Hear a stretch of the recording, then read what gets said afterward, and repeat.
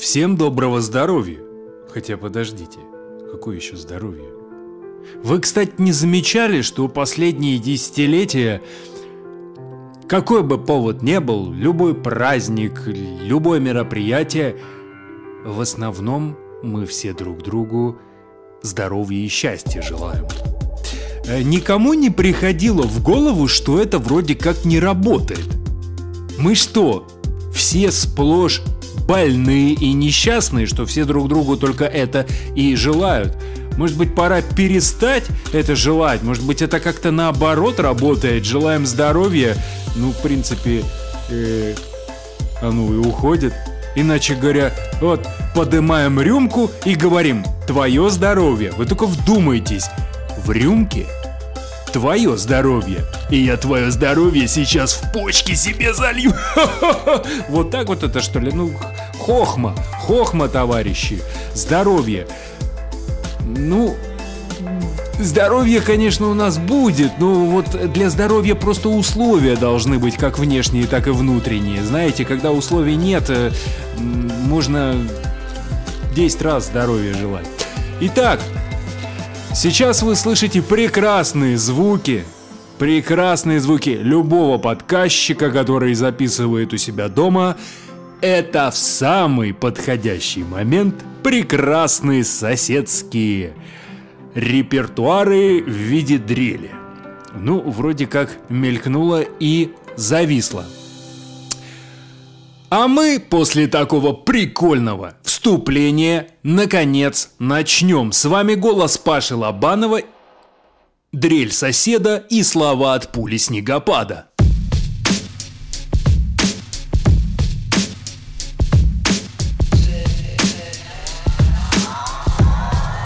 Мост свободы.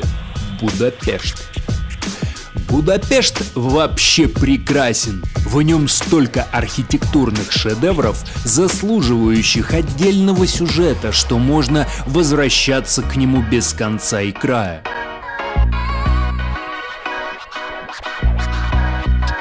Но в этой публикации интересуют нас мосты.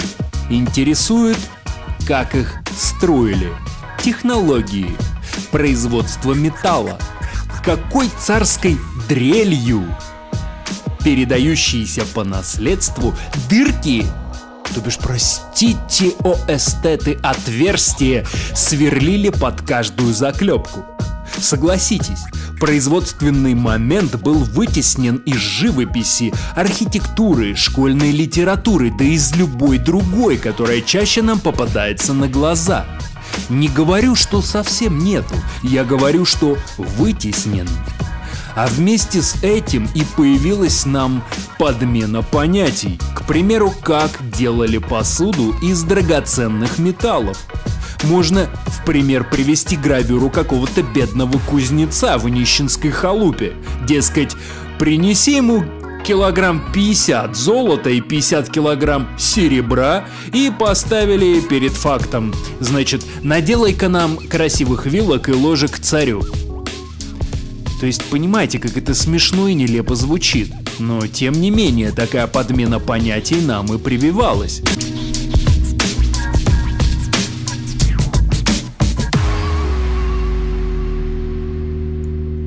Или другой пример – как шили раньше одежду. Где производственный момент? Вновь можно найти картины, как в нищих землянках ткачихи придут за маленьким станочком. Но кому это они шьют? Царям и прочей свите? Вы же посмотрите на картинках одежду знати. Там дорогие ткани и очень тонкая работа какую, хочу подметить, увидит только профессионал, а дилетант ее не увидит. Для дилетанта это будет просто красиво. Куча рюшек, брошек, бусинок, пуговиц и прочие досадные мелочи, на которых нужно для изготовления по отдельности цеха. Но картинами нам прививалось, что это сшилось в развалинах, в которых даже толком не было условий для жизни. Но вернемся к мосту свободы, о котором описание, которое я сократил, выбрав самое интересное, следующее. Мощный и железный каркас был изготовлен на машинно-строительном заводе венгерских королевских железных дорог. Строительство было завершено в 1896 году, в годовщину празднования тысячелетия обретения венграми Родины. На торжественном праздновании по случаю открытия моста, где собралось огромное количество народа, присутствовал император Австро-Венгрии Франц Иосиф, для которого на пештской стороне моста был сооружен богато украшенный праздничный шатер. Мужчины при появлении императора сняли головные уборы и подняли их высоко над головами, а дамы в знак уважения встали – Министр Эрнё Даниэл выступил с торжественной речью и предложением городских властей о присвоении новому мосту имени Франца Иосифа, на что император дал свое высочайшее согласие, а затем с помощью нажатия на кнопку парового молота забил в основание моста последнюю строительную заклепку. С этой самой заклепкой приключился большой конфуз так как была она символическая заклепка из серебра с монограммой FJ. Ее поместили под стеклянный колпак с железным обручением у основания. Породистая заклепка пережила даже Вторую мировую. А вот во время революционного восстания 1956 года исчезла самым таинственным образом вместе с накрывавшим ее колпаком. Вот такое описание в котором интересно лишь два момента. Первый – где металл для моста делался. Второй момент – с помощью нажатия на кнопку специального парового молота забил в основание моста последнюю строительную заклепку. Также публикация была дополнена двумя фотографиями момента строительства. Это не у меня, это у кого-то из вас.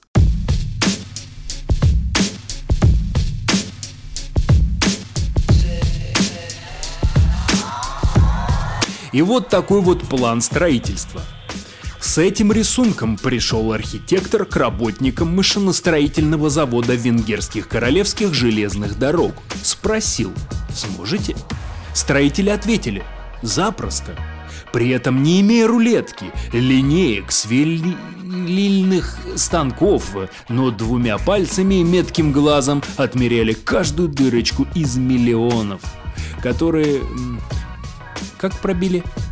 Э, спросите у антропогенеза. Они расскажут, как это пустячково и вручную можно сделать. Причем расскажут с такими серьезными лицами, что можно умудриться в это и поверить. И все-таки строительство мостов – это сложная наука расчетов и подсчетов. К примеру, император нажал на кнопку парового механизма, чтобы забить последнюю заклепку. Вот хотелось бы его увидеть.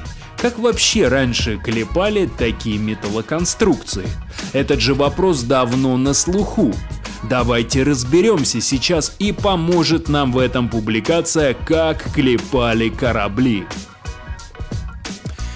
Когда готовят наклепать чего-либо, то обычно имеют в виду изготовить в массовом количестве. Как будто это такое простое дело, а давайте посмотрим, Вообще-то соединение с помощью заклепок было известно очень давно, но расцвело, когда металл стал основным конструкционным материалом, и клепали все, что из него изготовлялось. Вот пара моих снимков. Цистерна из Ростовского железнодорожного музея –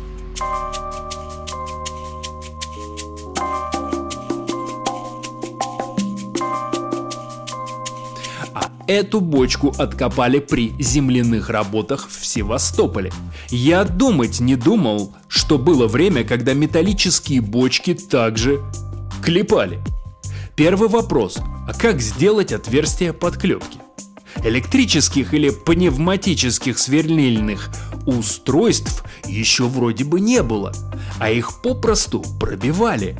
В 1805 году английский изобретатель и промышленник Модсли запатентовал дыропробивную паровую машину. Основной проблемой стало пробить эти дыры в листах металла всевозможной формы, чтобы они точно совпадали. В цеху по чертежам с помощью тщательной разметки пробивали отверстия, но несколько меньшего диаметра. Потом на месте сборки листы точно совмещали, фиксировали болтами и с помощью специального инструмента прогоняли отверстия до нужного диаметра, устраняя при этом их несносности. Здесь немного остановимся и поспорим без упрека к автору. Дело в том, что сверлильные станки были. Примеру, вот токарно-винторезный станок Нартова.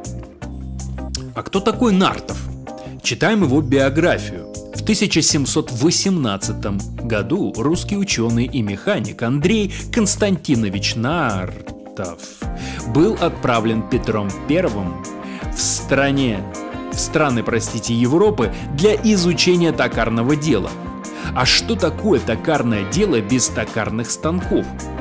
А я от себя хочу спросить, а вот я не уверен, что вот токарному делу пошел учиться в Европу, а может он учить Европу пошел токарному делу.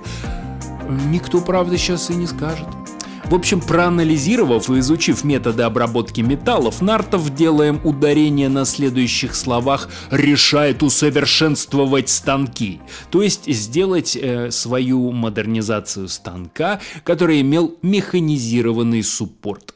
И набор сменных зубчатых колес. Но продолжаем читать. Теперь сама заклепка. Она должна быть из того же материала, что и листы, чтобы не получалось гальванических пар. Особенно это опасно в морской воде.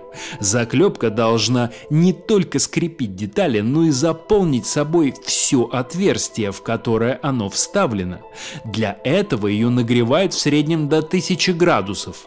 С той стороны, где уже есть головка, ее поддерживают каким-нибудь массивным упором, а с другой стороны лупят молотом. Но не по самой заклепке, а по так называемой обжимке, которую держит второй рабочий. Обычно это металлический цилиндр, в одном торце которого есть полусферическое углуб. О, давно не было слышно. Сейчас подождем. Угу. Обычно это в торце полусферическое углубление, которое сформирует вторую головку. Делать это надо очень быстро, чтобы заклепка не успела остыть ниже 600-500 градусов. Греют их в специальных переносных коксовых печах, обычно подростки. А дело это ответственное. Перегреешь, при остывании заклепки может попросту порвать. Не догреешь. На завершающей стадии расклепывания температура может упасть ниже установленного предела, сталь станет синей и ломкой, могут появиться трещины.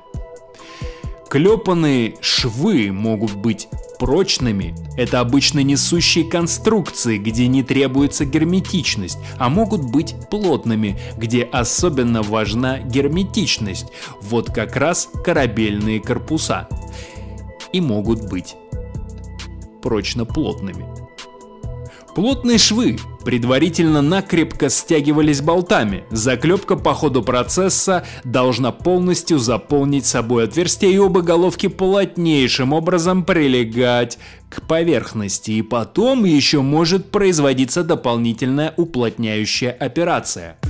Так называемая чеканка шва. Кроме того, между листами по шву прокладывались ленты из прочной ткани, пропитанные водоотталкивающим веществом. Все это давало желаемый результат, что подтверждает герметичность клепанных корпусов подводных лодок во время Второй мировой войны. А уж что над ними не вытворяли, и бомбили, и ныряли на 200 с лишним метров, на 200 с лишним метров, и в заключении еще два снимка. Вот мальчишки разогревают заклепки. Возможно, они носятся по уложенным доскам, передавая клепальщикам разогретые заклепки. Но есть и другой способ. Вот снимок со строительного небоскреба с судоверфи не нашел, к сожалению. Замучаешься таскать печь с места на место по балкам и этажам или бегать по ним с заклепкой. Проще перекинуть ее.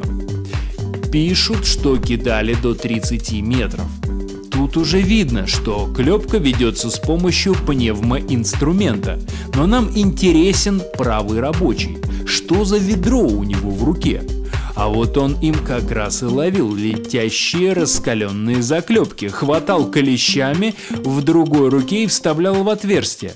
Скорее всего, и на судоверфях так делали, когда корпус вырастал в высоту. Конец публикации – в которой было указано два способа ручной и с помощью пневмоинструмента. Но я всегда предполагал, что должно быть и переносное механизированное устройство. Имел ли я право так думать? Да, вполне. К примеру, так делали непотопляемый Титаник.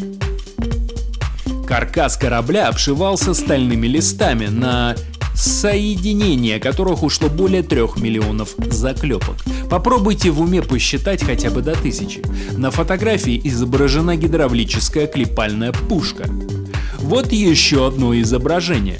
На нем в кадр попали как две клепальные пушки, так и на отдаление вполне такой себе современный подъемный кран, а ведь в свое время искал большие краны до революционного периода и на то время нашел лишь пустяковые изображения.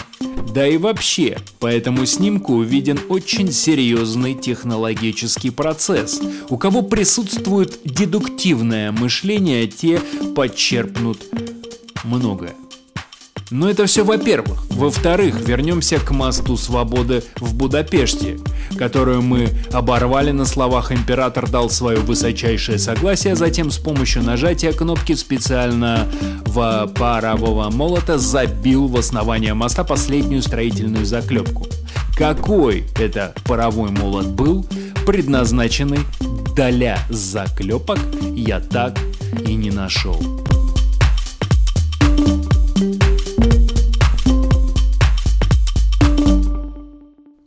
Ну а на сегодня все. С вами был голос Паши Лобанова и слова от пули снегопада.